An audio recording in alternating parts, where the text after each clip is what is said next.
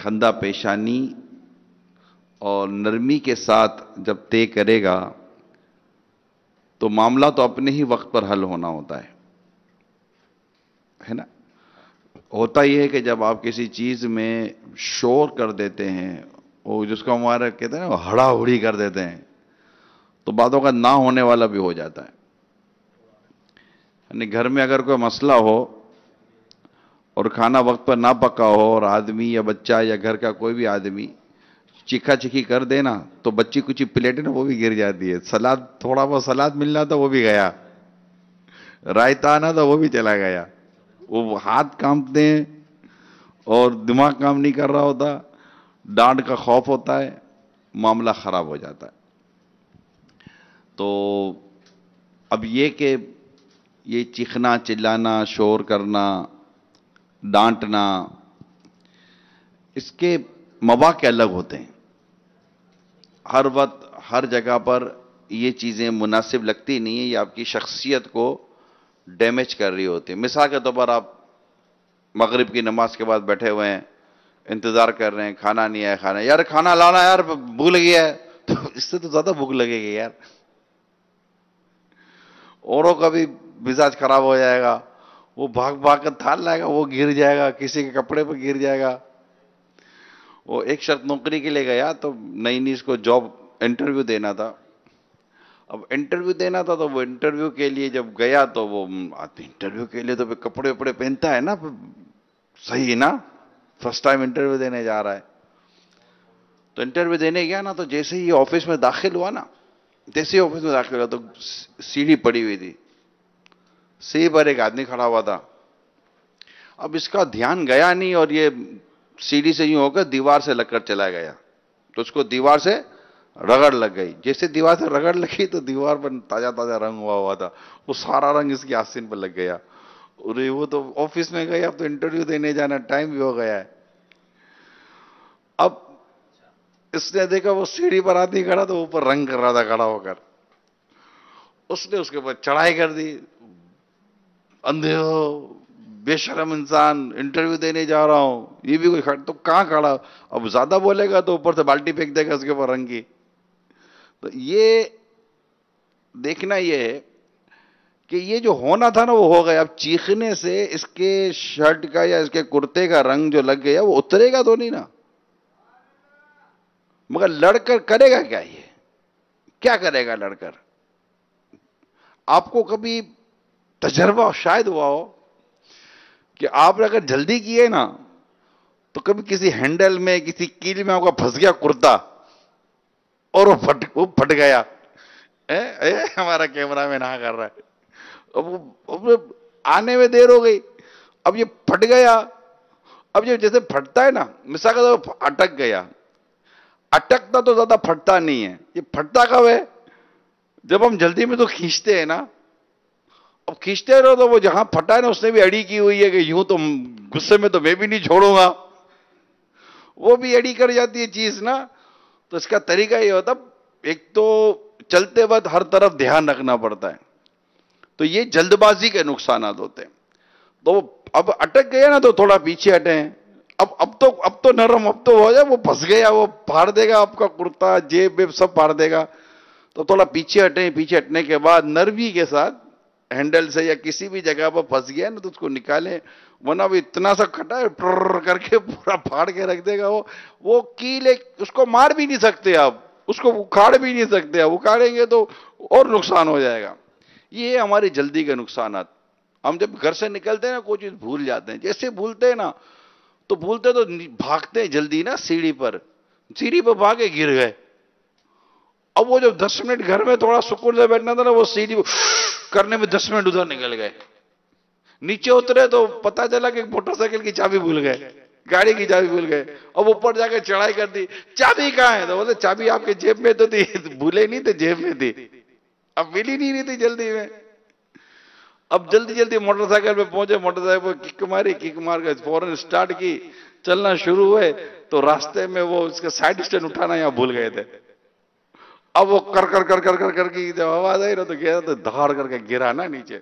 میں نے خود کتنوں اشارے کر کر کے میں نے کتنوں کے سائز اسٹینڈ ابھی بھی اس وقت بھی میں لوگوں کے سائڈ اسٹینڈ پر وہ دیتا ہوں۔ اشارے کے بھائی سائڈ اسٹینڈ تو کھڑا کرو کہ ٹھا کر کے گرو گے نا۔ اچھا یہ تجر وہ پریکٹیکل بات بیان کر، شاید آپ میں سے ہوگا۔ بعد اتنی جلدی میں ہوتے کہ ہینڈل کھولنا بھول جاتے ہیں۔ سٹارٹ کی گیر مارا، جیسے چلائے گر گئی ہوا ہے تھا۔ یہ اب ہینڈل کھولنا بھول گئے۔ یار، اتنی جلدی بھی کیا تھی۔ ہینڈل کھولنا بھول گیا۔ اور سٹارٹ کی، جیسے وہ کر کے چلایا، یوں کیا تو اس نے کہا، گھومنا ہے، تم نے تو لوگ کیا تھا۔ وہ گھومے گا گھومے گا تھوڑی۔ بعد لوگ چین لوگ لگاتے ہیں۔ چین لوگ لگا وہ بھول جاتے کہ ہم نے بھی چین لوگ لگایا تھا نا۔ ایک لوگ دو لوگ تین لوگ یہ لوگ لگاتے ہیں پھر وہ چور لوگ۔ تین تین چار چار لوگ لگاتے ہیں اچھا اگر کوئی اہم آدمی سیکیورٹی رکھے تو بولتے ہیں کہ اس کو خدا پہ بھروسہ ہونا چاہیے۔ تم تین تین لوگ لگاؤ، تم کو خدا پہ بھروسہ نہیں ہونا چاہیے۔ لوگ کہتے ہیں نا، ارے یار، اس سے سکھاٹ رکھا ہے، اس کو اللہ پہ بھروسہ ہونا چاہیے۔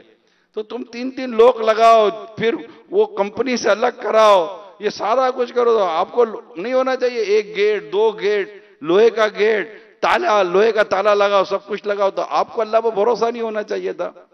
تو یہ اللہ پر بھروسہ کرنے کے منافی ہے بھی نہیں۔ اسباب کو برے کا لا کر نتیجہ رب پر چھوڑ دینا، یہ توکل ہے۔ اونٹ کی رسی باندھو، پھر اللہ پر بھروسہ کرو۔ تو یہ لوگ لگا تو لوگ بھول جاتے ہیں کھولنا۔ اچھا بعد کا چائے کا تجربہ شاید کسی کو ہوا ہو۔ جلد بازی کی میں بات کر رہا ہوں۔ چائے بھی بتاتے نہیں ہو، چائے گرم ہے، اب ٹھنڈی دو، تب بھی مصیبت، گرم دو، تب بھی مصیبت۔ وہ گرم اس کو دیر ہو رہی تھی تو چسکی لی چسکی لی، زبان جل گئی۔ اب زبان جل گیا، تین دن تک جلی ہوئی زبان کے مزے لو۔ نہ کھانے میں مزہ آئے گا، نہ پینے میں مزہ آئے گا۔ ایک دن کی چائے، تین دن کی لذت۔ ٹھیک ہے نا؟ تو یہ ہو جاتا ہے۔ اچھا کبھی کبھی یہ ہوتا ہے کہ چائے پیتے پیتے گرا دی۔ اب چائے گر گئی۔ کبھی ابھی جیسے کہ آج کل یہ ہو رہا ہوگا، شاید شربت پیتے پیتے شربت گرا دیتے ہوں گے۔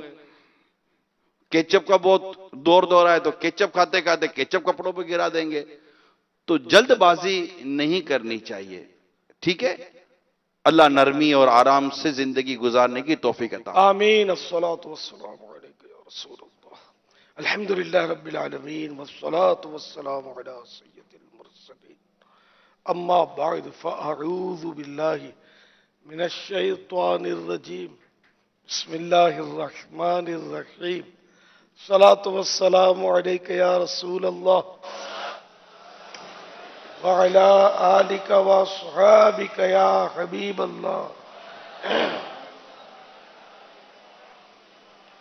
صلاة والسلام عليك يا نبي الله.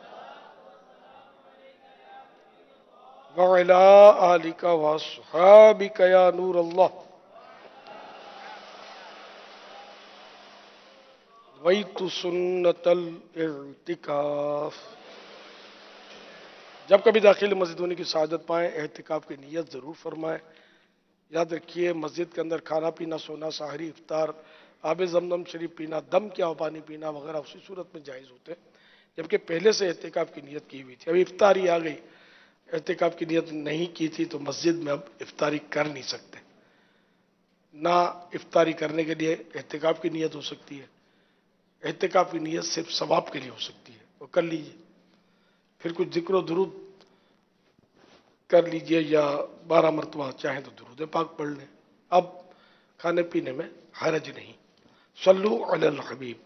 صلی اللہ تعالی علی محمد۔ ضیاء درود السلام پیج نمبر نو، فرمان مصطفیٰ صلی اللہ تعالی علیہ وآلہ وسلم۔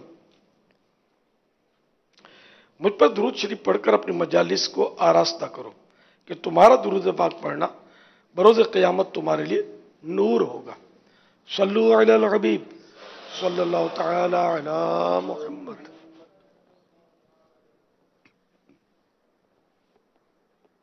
چودہ سو چالیس سے نجری کے ماہ رمضان مبارک کا آج پندرہواں روزہ ہے۔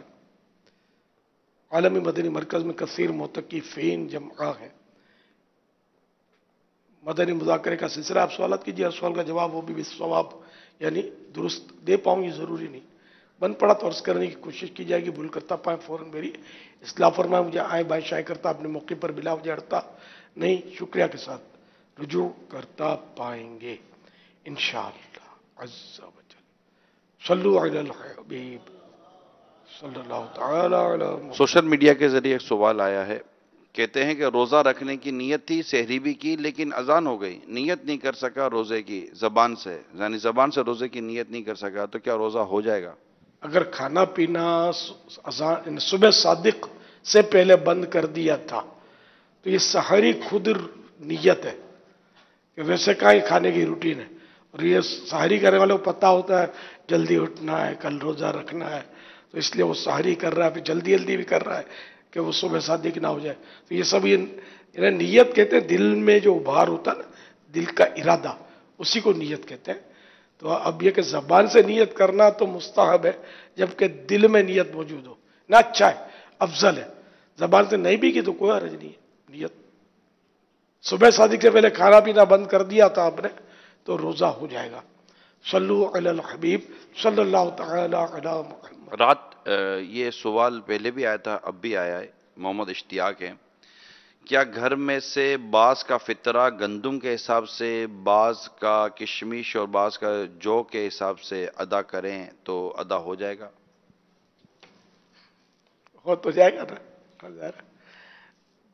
اب کل ہم نے اس کا جواب نہیں دیا تھا ویسے احتیاطن کہ اپنا فطرہ یعنی باپ ہے اپنا فطرہ بڑا دے بچوں کا گندم والا دے۔ تو یہ پھر احتیاطن جواب نہیں دیا تھا۔ میرے سمجھ میں تو آتا ہے کہ ہو جائے گا لیکن جواب آپ کے لیے رکھا تھا۔ Yes؟ یہ جو آپ نے فرمایا حرج نہیں ہے اس میں کوئی کیونکہ صدقہ فطر کسی بھی مقدار سے جو مقرر ہے اس سے دینا لازم ہے۔ تو جس مقدار سے بھی دے دے گا ادا ہو جائے گا۔ ایک فرد کا کسی مقدار میں دیا دوسرے کا کسی مقدار میں دیا۔ ضروری تو نہیں ہے نا کہ ایک ہی بابا آدمی دے گا۔ اب جس کے پر صدقہ فطر واجب ہے جیسے گھر میں بیٹے پر صدقہ فطر واجب ہے تو بچوں کی امی پر صدقہ فطر واجب ہے مرد پر صدقہ فطر واجب ہے یا بیٹیوں پر صدقہ فطر واجب ہے تو کیا سب کا گھر کا سربراہ دے یہ ضروری ہے یا سب کو اپنا اپنا دینا ہے نا؟ تو ہر کوئی اپنی پوزیشن کے مطابق دے گا۔ کوئی کہے گا میں آٹھ سو والا دوں گا کوئی کہے گا میں پانچ ہزار دوں گا کوئی کہے گا میں سو والا دوں گا تو یوں سب کا لے دے کر کر لینا چاہیے۔ اب سب کو یوں کریں لیکن میری مدنی التجا ہے کہ صدقہ فطر دعوت اسلامی کو دیجیے گا۔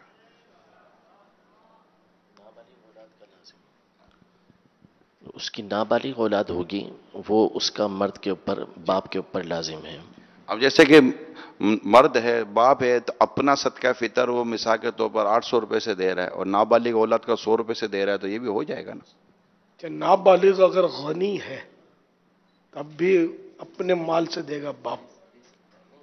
اس کے مال سے دے سکتا ہے نابالغ کے مال سے۔ جبکہ نابالغ غنی ہو مالدار ہو۔ صلو علی صلی اللہ تعالی علی محمد۔ کیا نظر بد کی بھی کوئی حقیقت ہے؟ جی ہاں نظر لگ سکتی ہے۔ اور تو حدیثوں میں نظر لگنا حق ہے۔ بس شگونی میں اس کی تفصیلات بھی ہے اچھا ہم نے اب تک نظر بد سنی ہے۔ کیا اچھی نظر بھی لگتی ہے؟ چل یعنی حدیثوں میں صرف لفظ نظر ہے کہ نظر کا لگنا حق ہے۔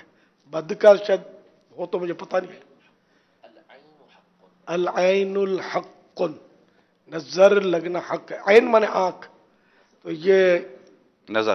نظر ہے نا۔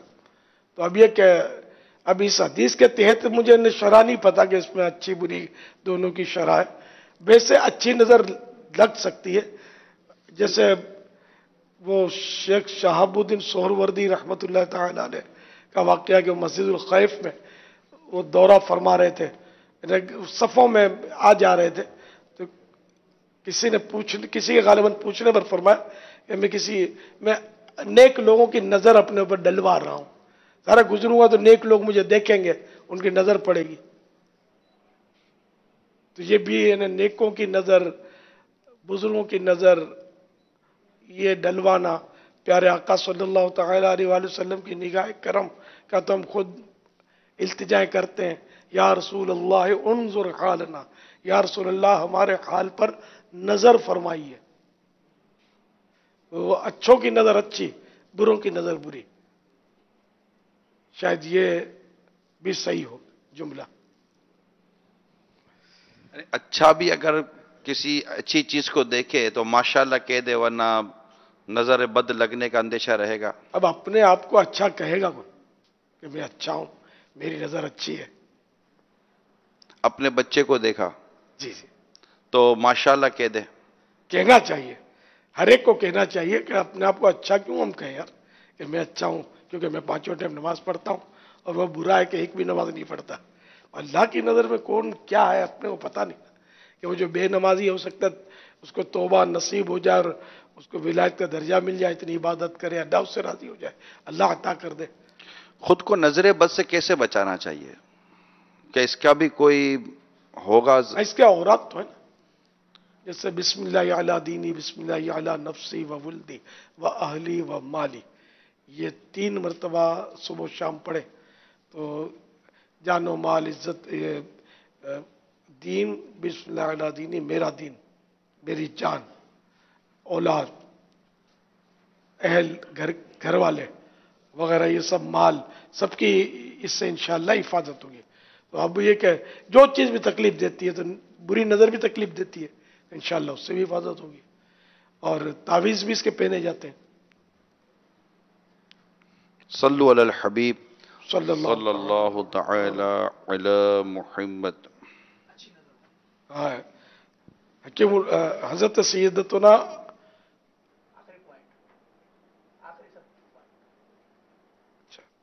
رب تعالی جس چیز میں چاہے تاثیر خاص پیدا فرما دے، وہ قادر مطلق ہے۔ اچھا مفتی احمد یار خان صاحب فرماتے ہیں، پھر جیسے بری نظر، برا اثر پیدا کرتی ہے یہ صالحین مقبولین، نیک لوگوں کی رحمت کی نظر، منظور میں انقلاب، تبدیلی یعنی تبدیلی پیدا کر دیتی ہے۔ نے جس پر نظر ڈالی اس پر تبدیلی پیدا کر دیتی ہے۔ نظر بد یعنی بری نظر بیماریاں پیدا کرتی ہے۔ تو نظر خوب یعنی اچھی نظر بیماریاں دور کرتی ہے۔ شیطان نے بارگاہ الہی میں عرض کی، انظرنی، مجھے مولت دے۔ اگر کہتا، انظر الی، مجھے نظر رحمت سے دیکھ لے، تو اس کا بیڑا پار ہو جاتا۔ ایک شخص، حکایت۔ ایک شخص نے کہا کہ میں نے بڑے بڑوں کو دیکھا، کسی میں خوش نہیں ہے۔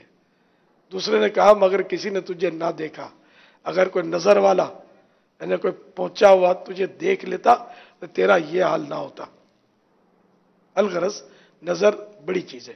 کوئی نظر خانہ خراب کر دیتی ہے، کوئی نظر خراب کو آباد کر دیتی ہے۔ نظر کی جاولانیاں نہ پوچھو، نظر حقیقت میں وہ نظر ہے، اٹھے تو بجلی پناہ مانگے، گرے تو خانہ خراب کر دے۔ صلو علی الحبیب۔ صلی اللہ تعالی علی محمد۔ جس طرف اٹھ گئی، دم میں دم آ گیا۔ اس نگاہ عنایت پہ لاکھوں سلام۔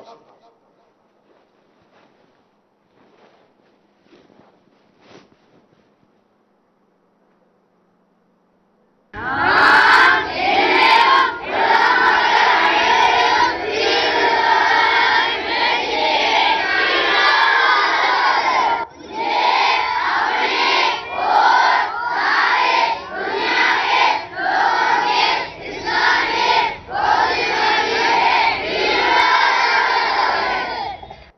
یہ کینیا کے جامعۃ المدینہ کے طلبہ مدنی مقصد دہرا رہے تھے۔ آئیے آڈیو کال کنیا۔ کنیا۔ کنیا یہ سری لنکا کا ایک شہر ہے۔ جی،, جی جی وہاں الحمدللہ دعوت اسلامی کا مسجد ہی کے ساتھ ایک بہت پیارا جامعۃ المدینہ ہے۔ لاسٹ ٹائم ہمارا سفر تھا تو یہاں حضری کی سعادت ملی تھی۔ کینیا دوسرا ہے۔ وہ افریقہ, کا ملک ہے کینیا۔ یہ کنیا ہے۔ ولید تختاری باب المدینہ کراچی سے بات کر رہا ہوں۔ سوال یہ عرض ہے کہ لوگ کہتے ہیں کہ انسان کے سر پہ قرآن ہوتا ہے۔ کیا یہ صحیح ہے؟ اور میرا دوسرا سوال یہ ہے کہ حضرت مہدی یہ کیا ولی ہے برائے کرم رشاد فرما دے۔ کوئی سینے میں قرآن بولتا ہے کوئی سر میں قرآن بولتا ہے۔ خالی ایک تھوڑی بولتا ہے سر میں کتنے چالیس یا پتہ نہیں کتنے قرآن بولتے ہیں۔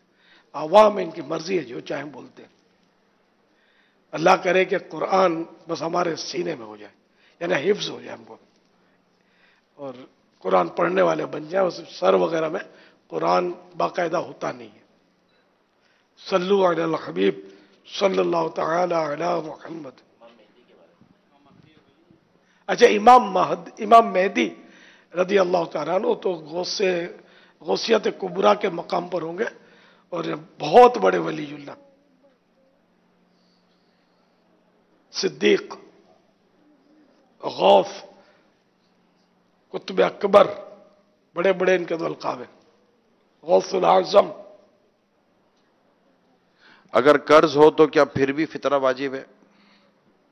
اگر صاحب نصاب نہیں ہے یا ہے اس کے بعد قرض میں ڈوبا ہوا ہے اور وہ صبح صادق کے وقت عید الفطر کے وہ اس کی یہی کیفیت ہے کہ وہ قرض میں ڈوبا ہوا ہے، تو اب فطرہ واجب نہیں ہوگا۔ قرض میں اتنا ڈوبا ہوا ہے کہ قرض ادا کرے تو صاحب نصاب نہ رہے، تو فطرہ واجب نہیں ہوگا۔ چاہے وہ ادا کرے یا نہ کرے، قرض ادا کرے یا نہ کرے، وہ صاحب نصاب نہیں رہے گا تو فطرہ واجب نہیں ہوگا۔ کیا بالغ بچوں کا فطرہ بھی والدین کے ذمہ پر ہے۔ بالغ اگر خود صاحب نصاب ہے تو اپنے مال سے دے گا۔ صاحب نصاب نہیں ہے تو اس پر فطرہ واجب نہیں۔ ذہنی سکون کا کوئی وظیفہ ارشاد فرما دیں۔ اللہ بکر اللہ تطمئن القلوب۔ دلوں کے اطمینان کا ذریعہ اللہ کا ذکر ہے اللہ کی یاد ہے۔ درود پاک پڑھتا رہے ذکر کرتا رہے۔ ہو سکے تو ساٹھ مرتبہ روزانہ لا حول ولا قوت الا باللہ العلی العظیم پڑھ کر پانی پر دم کر کے پیتا رہے۔ انشاءاللہ سکون ملے گا، غم دور ہوگا، ٹینشن دور ہوگا اور بہت ساری پریشانیاں دور ہوں گی، آفتیں دور ہوں گی، بلائیں دور ہوں گی انشاءاللہ۔ یہ بہترین ورد ہے، ساٹھ مرتبہ پڑھنا ہے، پانی پر دم کر کے پینا ہے۔ سوال ہے کہ جو آب زمزم ہے کس حصے میں تکلیف ہو، تو وہاں بھی لگا سکتا ہے آب زمزم، جس سے دل کی تکلیف ہو، پیروں میں تکلیف ہوتی، کبھی شوگر کی وجہ سے ہاں لگانے میں کیا حرج ہے؟ آب زمزم میں شفا ہے، لیکن اس کی ترغیب پینے کی ہے، بدن پر ڈالنے کی بھی ہے۔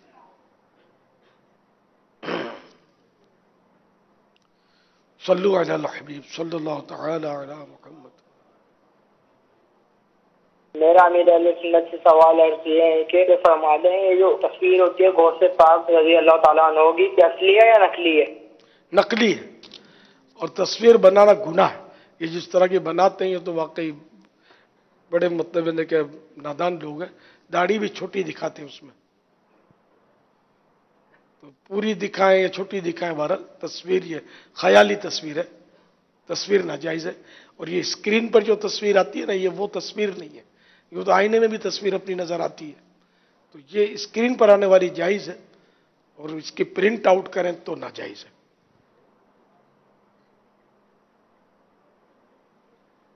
جی میرا نام عبد شکور ہے پنڈی بٹیاں سے بات کر رہا ہوں۔ سر میرا سوال ہے کہ مجھے شکار کرنے کا شوق ہے۔ تو پلیز مجھے آپ یہ بتائیں حدیث کی روشنی میں کہ شکار کرنا پرندوں کا کوئی گناہ تو نہیں ہے؟ پلیز اس کے بارے میں ضرور بتائیں۔ شکار؟ ہاں۔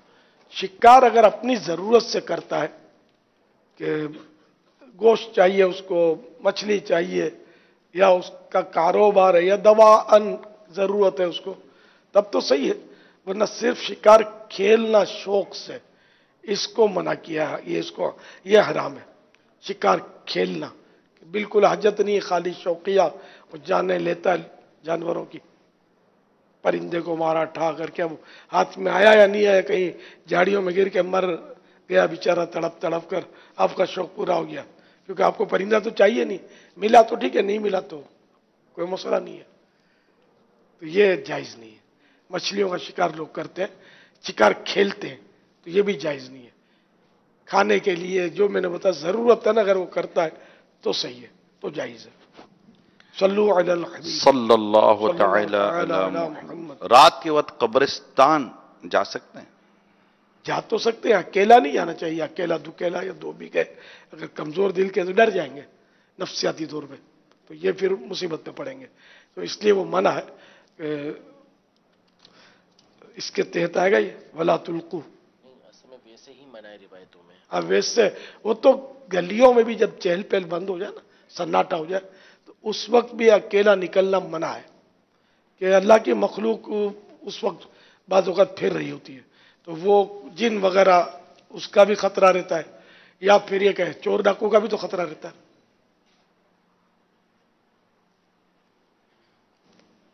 صلو علی الحبیب صلی اللہ تعالی علی محمد۔ کالی بلی اگر رستہ کاٹ دے تو کیا مشکل آ جاتی ہے؟ یہ غیر مسلموں کے نزدیک بدشگونی ہے۔ ہمارے نزدیک مسلمانوں میں بدشگونی لینا حرام ہے۔ بالکل یہ کالی بلی ہے، کالا بلا ہے۔ یا آگے سے کالا کتا نکل جائے۔ بالکل اپنی، اپنا جو بھی ہے سلسلہ چلنے پھرنے کا جاری رکھنا ہے۔ رکنا نہیں ہے۔ رکیں گے تو ہو سکتا ہے کچھ ہو جائے، بس چلنا ہے۔ یوں ذہن بنائے۔ کہ بس شگونی ہے ہی نہیں اسلام میں اس کا تصور ہی نہیں ہے، منع کیا گیا ہم کو۔ غیر مسلموں کی باتیں اپنے کیوں لے لیں؟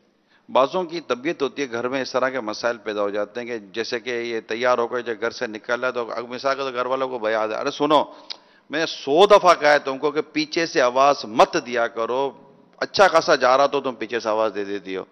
تو یہ پیچھے سے آواز دینے سے ان کو یہ لگتا ہے کہ پیچھے سے آواز دی نا، میں، میرا کام خراب ہو جائے گا، میں اٹک جاؤں گا۔ یہ اس سے گھر میں بھی مغز ماری ہو جاتی ہے۔ یہ بالکل یعنی کہ بس وہی بدشگونی والی بات لگ رہی ہے یہ۔ وہ اپنے عورت کو سمجھا دے کہ تو آگے سے آ کر بلا لیا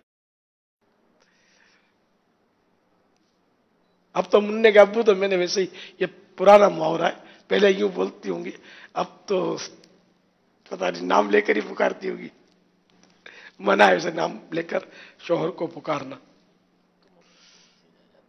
گناہ نہیں ہے منع ہے۔ مکرو لکھا ہے مکرو۔ نام لے کر پکارنا شوہر کو۔ اب تو بالکل یہ کہ انداز ہی تبدیل ہو گیا۔ بچپن میں ہمارے ہم نے جو انداز دیکھے تھے وہ خواب ہو گئے۔ بچپن شروع میں تو نا ہمارے گھر کی بڑی بڑھیاں بھی داماد کے آگے بھی جو ہے نا وہ ایک وہ حجاب۔ ہاں کر لیتی تھی کہ یوں نہیں داماد ہے داماد ہے داماد ہے۔ اب تو بہت بے باکی ہو گئی۔ اللہ تعالیٰ ہمارے حل پر رحم فرمائے۔ تو ان باتوں سے بچنے کا ایک طریقہ بدگمانی رسالہ پڑھنا بھی ہے۔ تو بدگمانی یہ مقتد المدینہ کا رسالہ بدشگنی سوری، جزاک اللہ۔ بدشگنی رسالہ اس کو ضرور پڑھیں۔ تو انشاءاللہ اس سے ایک بہت ساری غلط فہمیاں، توہمات جس کو وہمی طبیعتیں ہو جاتی ہیں، اس سے کافی سوالات اور جوابات کے انداز پر بھی ہم کو سمجھایا گیا ہے۔ اب جیسے اس پر کتاب پر آپ دیکھیں وہاں پر تیرہ نمبر ہے۔ تو یہ ہوٹلوں میں تیرہ نمبر کا کمرہ نہیں ہوگا۔ کئی ہوٹلیں ایسی جس میں نمبر تیرہ کمرہ ہی نہیں ہوتا۔ ہاں وہ تیرہ ہے ہی نہیں، وہ میرا ہے۔ اور سیٹ نہیں ہوتی، جیسے یہ کہہ رہے ہیں۔ بلڈنگ میں تیرہ نمبر کا فلور نہیں، فلور۔ تو یہ چیزیں جو ہیں، تیرہ نمبر کو یہ تیرہ نمبر کی کوئی وہ نسبت ہے تیرہ کو کسی اچھی سی؟ وہ۔ مکی زندگی۔ پیارے آقا صلی اللہ تعالی علیہ وآلہ وسلم کی اظہار نبوت کے بعد مکی زندگی تیرہ سال۔ پھر یہ کہ مولا مشکل کشا کا یوم ولادت تیرہ رمضان۔ تیرہ رجب المرجب۔ مولا مشکل کشا علی المرتضی کرم اللہ تعالی وجہ الکرم کریم کا جشن ولادت تیرہ رجب کو ہے۔ یہ تیرہویں شریف۔ تو یہ تیرہ تیزی بھی جو بولتے ہیں اس میں سفر میں یہ ڈھکوسلے ہیں اور یہ سب غلط ہے۔ اسلام میں اس کا تصور نہیں ہے۔ یہ بدشگونی کا اچھا شگون ہے۔ تو تیرہ اچھا عدد ہے کہ اچھی نسبتیں میں نے آپ کو دو تو مجھے ابھی یاد آئیں تو عرض کر دی اور نہ جانے ڈھونڈنے نکلے تو کئی نسبتیں مل جائیں۔ کتنے بزرگوں کا عرص ہوتا ہوگا تیرہ تاریخ کو۔ اگر ڈھونڈنے نکلے تو شاید ملے۔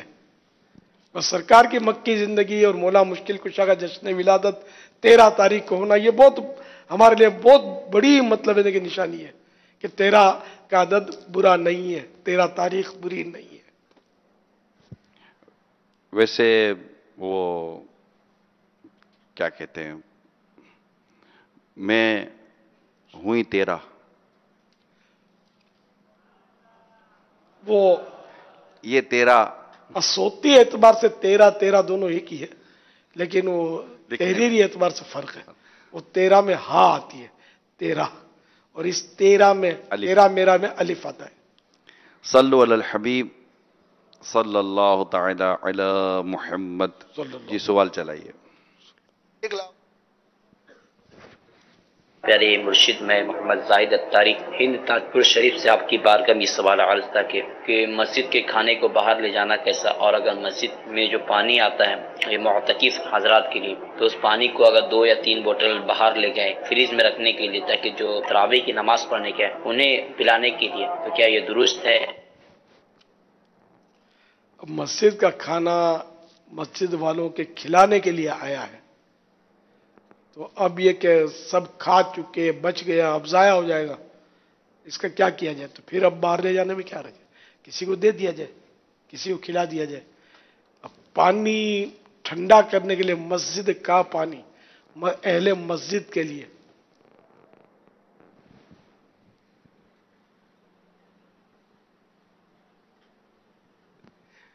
اب یہ اصل ہوں گے دو تین موتقبی نازک۔ تو ان کو ٹھنڈے پانی کے بغیر چلتا نہیں ہوگا۔ تو وہ یوں ترکیب کرتے ہوں گے شاید۔ تو اسی گھر سے اگر بوتل اپنی کوئی خرید لیں آپ، اسی گھر سے آپ ٹھنڈا کروا لیں بھلے۔ وہ اسے اپنا پانی بھر کے دے دیں۔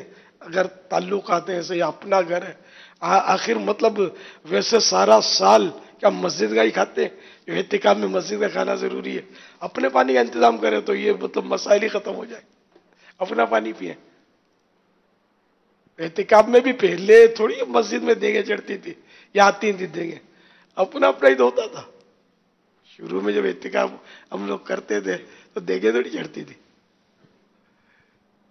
اپنے گھر سے یا کسی دوست کے گھر سے آ گیا، جو بھی ہو، مگر یہ کہ وہ ہر ہر مسجد میں وہ دیگیں تھوڑی پکتی ہیں اور لنگر تقسیم ہوتے ہیں۔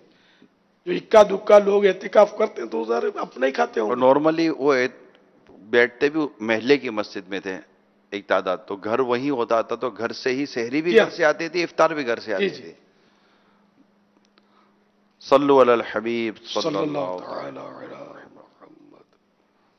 نام خالد نجیب ہے میں سعودی عرب کے شہر خبر میں رہتا ہوں۔ خبر سے میں جدہ جاتا ہوں، کام کے سلسلے میں بائی روڈ۔ تو راستے کے اندر مکات آتا ہے۔ مکات کے بعد حرم شریف آتا ہے۔ حرم شریف سے گزرتا ہوا جدہ آتا ہے۔ جدہ کام ختم کرنے کے بعد میں عمرہ کرنا چاہتا ہوں اور پھر حرم شریف جاتا ہوں عمرہ کرنے کے لیے۔ تو مجھ پہ دم تو نہیں لگ رہا، اس پہ میری رہنمائی کریے۔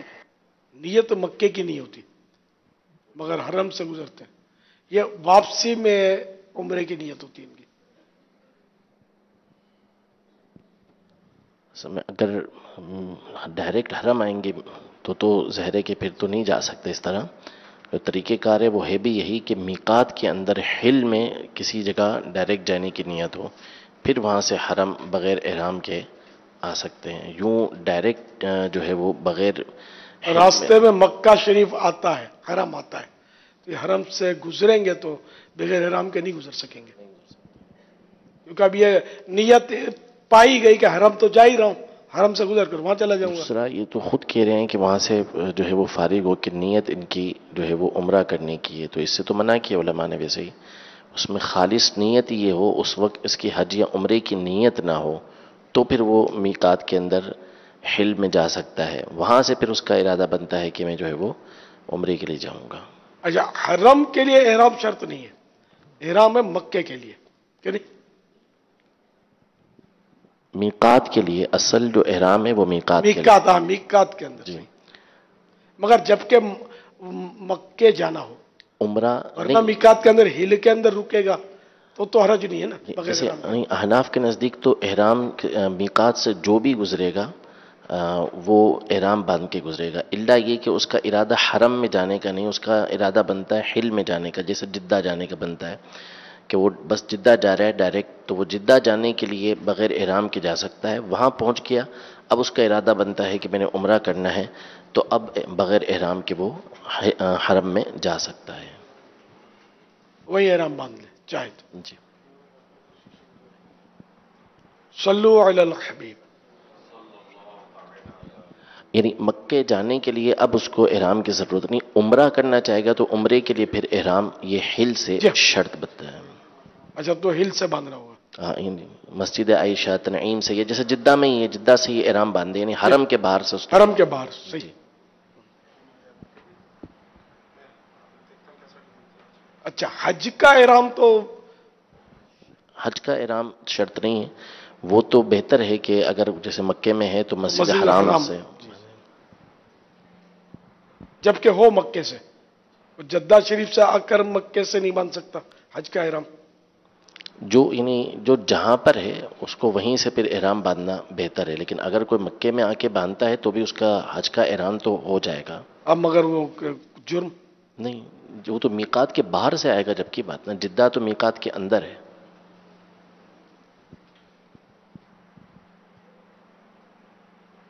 صلو علی الحبیب۔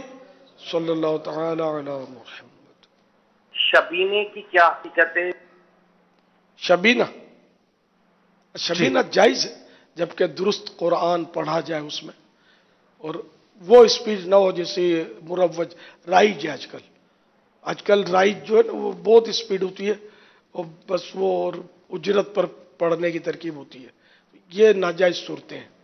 اگر درست قرآن پڑھا جائے اور بغیر اجرت کے بغیر معاوضے کے پڑھا جائے تو جائز ہے شبینہ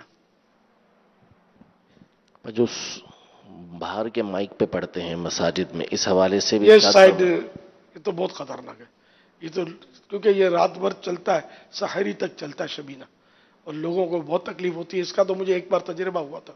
بہت پہلے ایک آدمی نے مجھے بولا تھا فلاں جگہ میرا گھر ہے اور میں مسجد کو مجھے پتا ہے اس کا اس مسجد کا بھی اس مسجد میں شبینہ ہوتا ہے ہم رات کو سو نہیں سکتے۔ اتنا زور کے مائک چل رہے ہوتے ہیں۔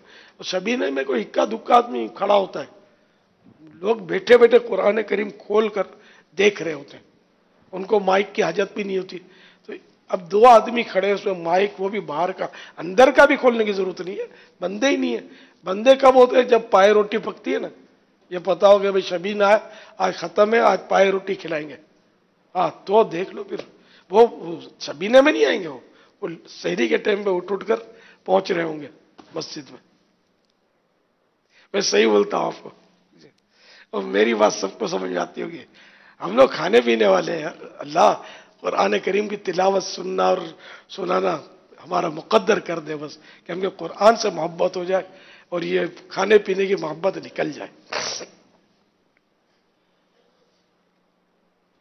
اسی طرح جو ابھی اسپیکر کے باہر کی آواز چلی، یہ بتائیے کہ سحری کے لیے مساجد سے جو اٹھانے کا جو سلسلہ ہوتا ہے، کیا اس کے بھی کوئی طریقہ کار یا کوئی نظم و نسق بیان کیا جا سکے گا؟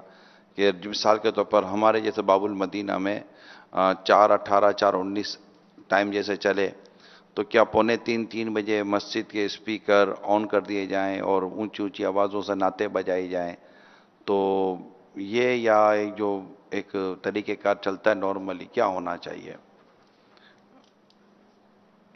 اب اس میں یہ کہ سارے لوگوں کو اس میں بھی تکلیف ہوتی ہوگی کہ اگر اسپیکر فل آواز میں چل رہا ہے، کوئی بیمار ہے، چھوٹے بچے چونک کر جاگ جاتے ہوں گے، چھوٹے بچوں پر تو روزہ ہے نہیں ظاہر۔ ان کو یہ بھی نہیں سمجھ آتی کہ رمضان ہے۔ یہ دونوں بچے بیٹھے ہیں، ان کو کیا پتا؟ رمضان ہے۔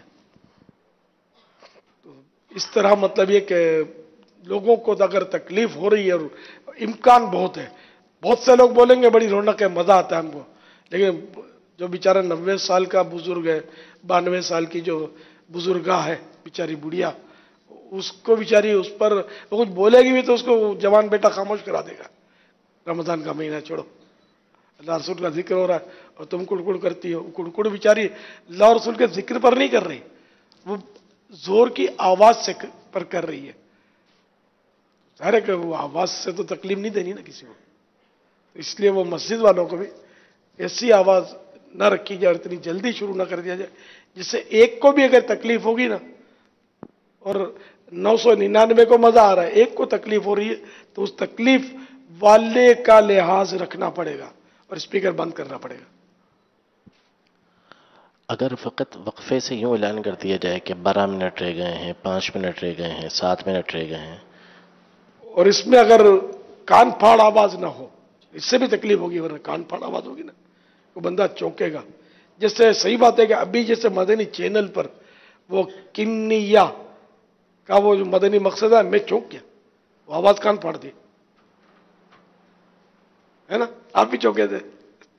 ہم لوگ چونک گئے۔ چلو، تو ہم ناراض نہیں ہوتے، احتجاج بھی نہیں کرتے بس، لیکن ہر ایک احتجاج نہ کرے یہ بھی ضروری نہیں ہے۔ تو اس طرح مطلب یہ کہ تکلیف دہ آواز نہیں ہونی چاہیے۔ وہ بارہ منٹ، پانچ منٹ یہ فائدہ ہے۔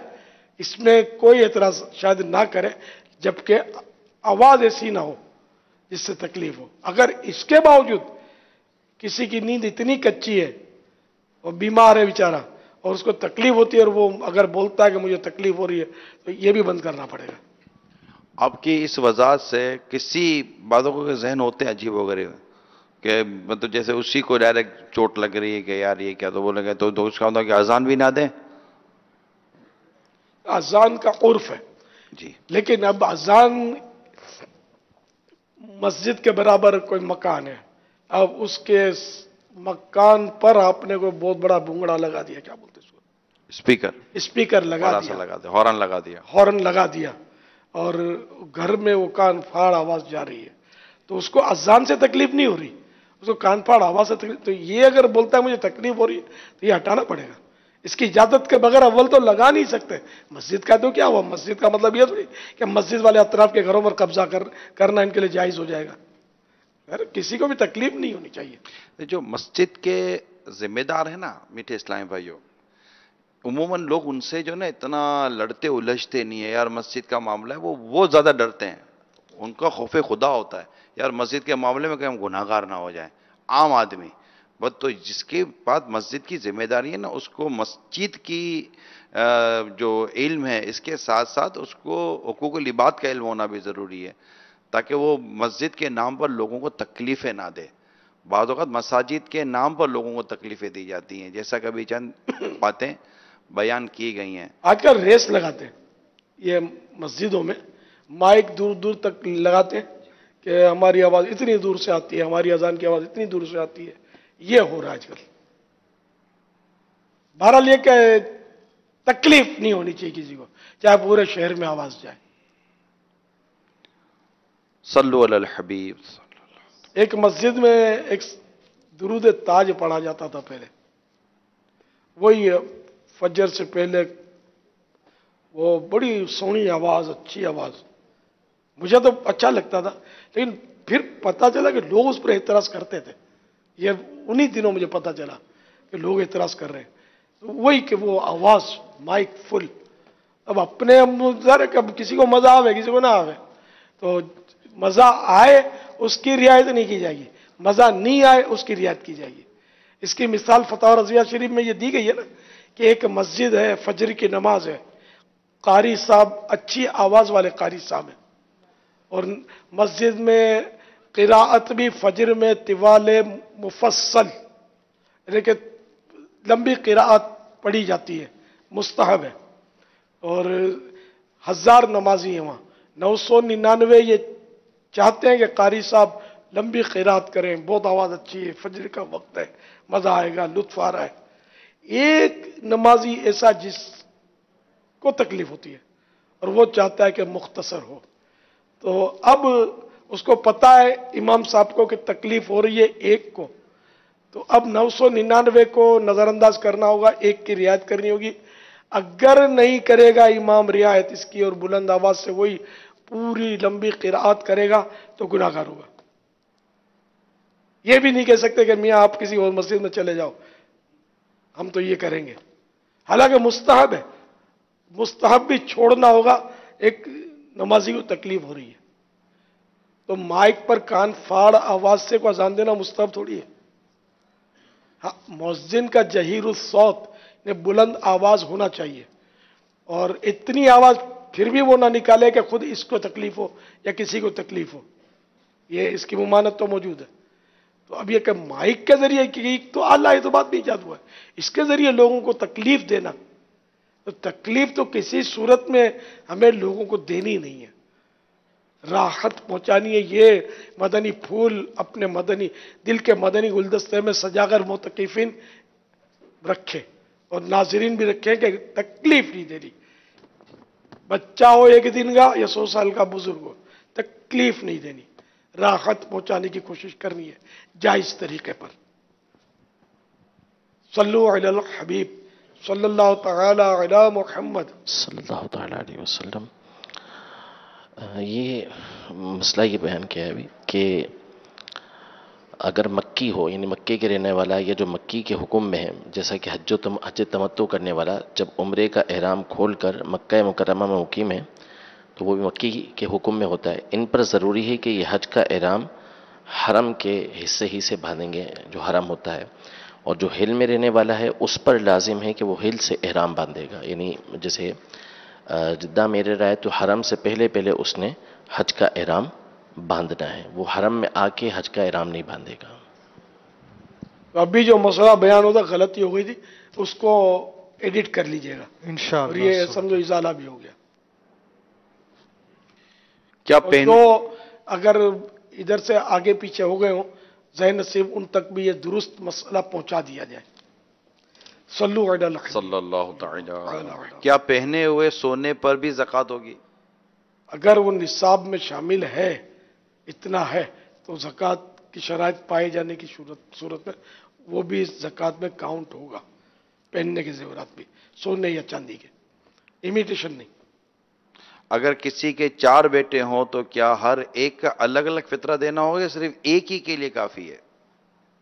اگر نابالغ چار بچے ہیں یا چودہ ہیں، تو بالغ یعنی باپ پر اگر فطرہ واجب ہے، باپ صاحب نصاب ہے، تو اب بچوں کی طرف سے بھی اس پر واجب ہے۔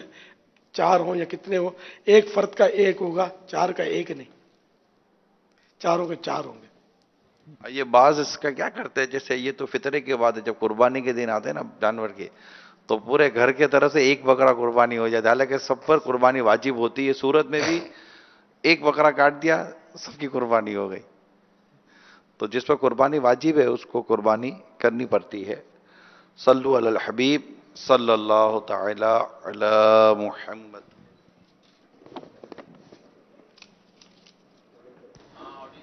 حضرت حضرت شیخ ابو سعود عبداللہ رحمۃ اللہ تعالی علیہ فرماتے ہیں کہ ہمارے شیخ محی الدین عبد القادر جیلانی رحمۃ اللہ تعالی علیہ قیامت تک اس بات کے ضامن ہیں کہ ان کا کوئی بھی مرید بغیر توبہ کیے نہیں مرے گا۔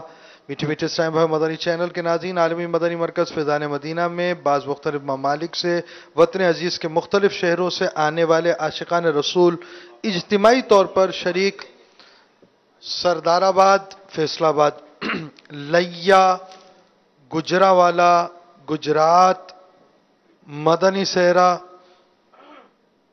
نواب شاہ،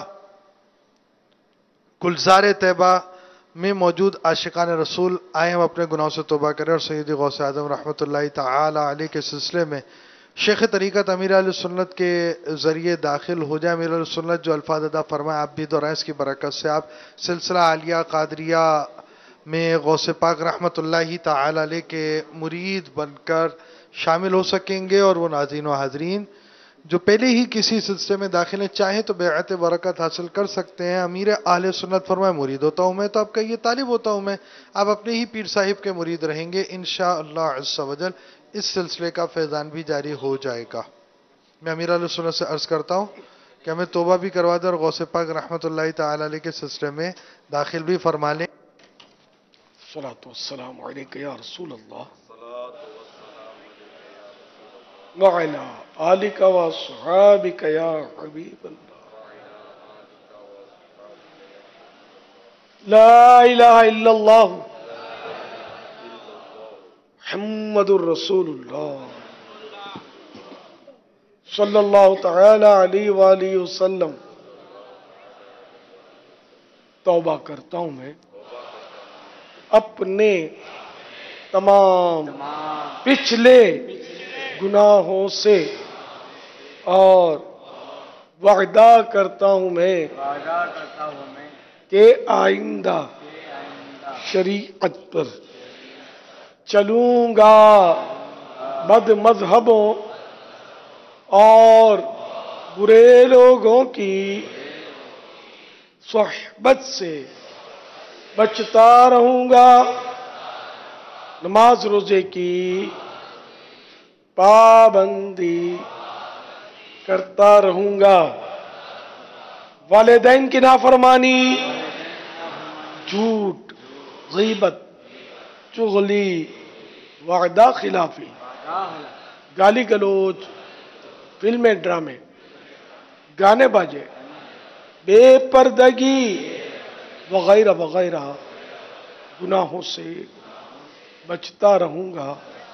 اے اللہ، میری اس توبہ کو قبول فرما اور مجھے میرے وعدے پر ثابت قدم رکھ۔ مرید ہوتا ہوں میں، خاندان عالی شان، قادریہ۔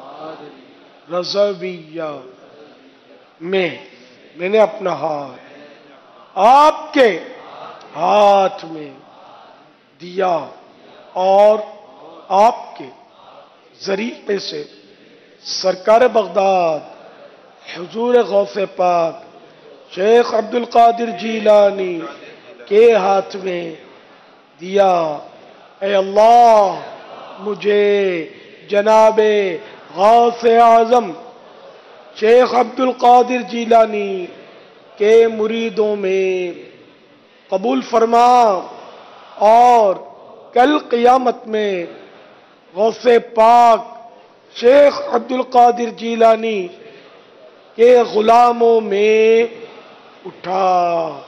صلاۃ وسلام علیک یا نبی اللہ وعلا آلک و یا نور اللہ۔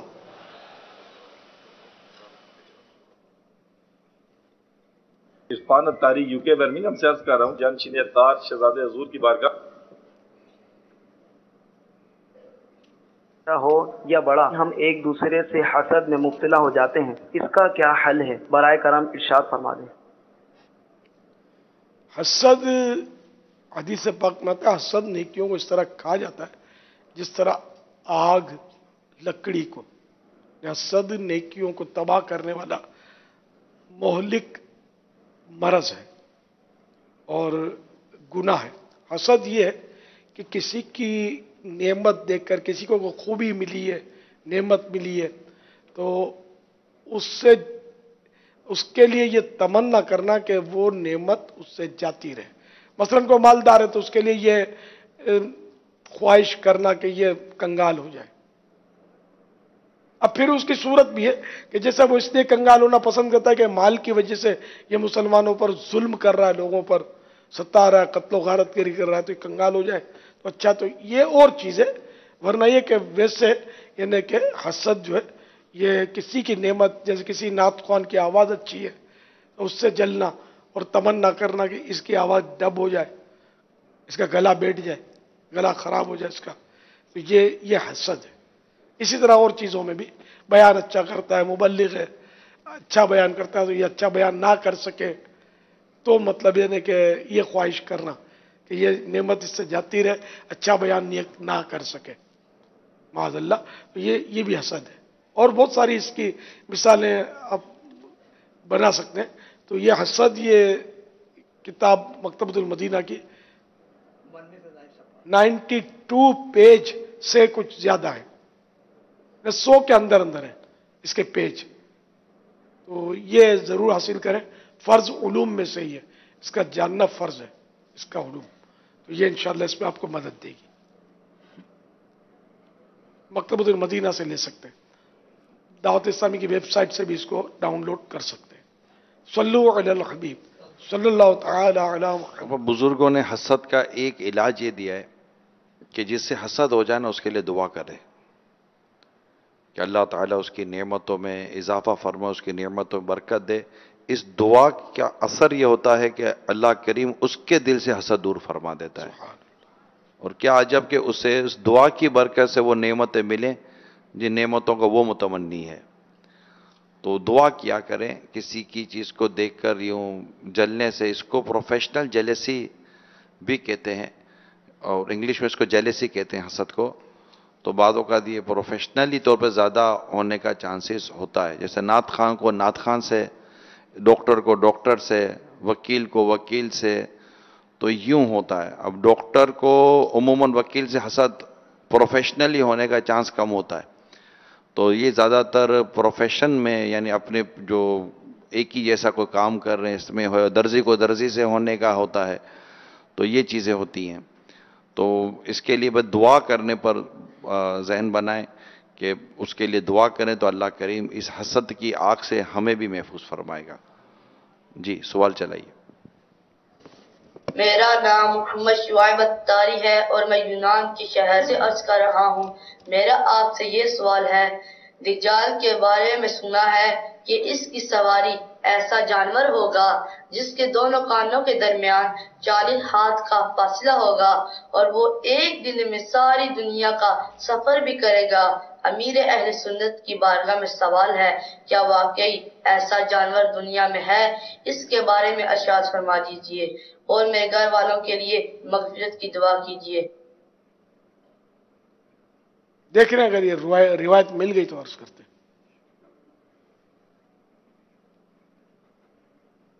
سوال۔ میں راحت اقبال یونان کے شہر ایتھن سے بات کر رہا ہوں۔ ایک سوال ہے کیا قرآن مجید میں پہلے نقطے نہیں لگائے جاتے تھے؟ جی ہاں شروع میں نقطے نہیں تھے یہ بعد میں یہ بدعت حسنہ ہے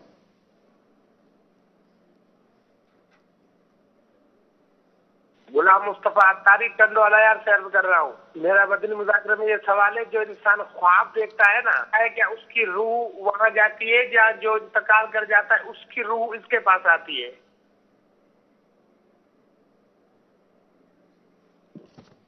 تو خواب دیکھتا ہے تو اس کی روح وہاں پہنچی ہوئی ہوتی ہے کیا ہوتا ہے؟ یا جس کو خواب میں دیکھا اگر اس کا انتقال ہو گیا تو اس کی روح خواب دیکھنے والے کے پاس آتی ہے۔ اب یہ پوچھ رہے ہیں کہ کہاں جاتی ہے روح جاتی ہے آتی ہے۔ غیر مسلم کو خواب میں دیکھے تو روح اس کی تو قید میں ہوتی ہے کہاں سے آئے گی؟ اللہ بہتر جانے۔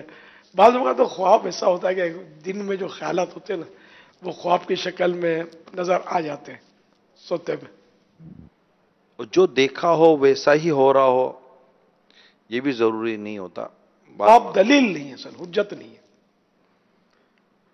اور خواب کی مختلف تعبیریں ہوا کرتی ہیں، تو اپنے طور پر بندہ فیصلہ بھی نہ کر لے کہ یہ خواب ہے تو اس کی تعبیر پھر یہی ہوگی۔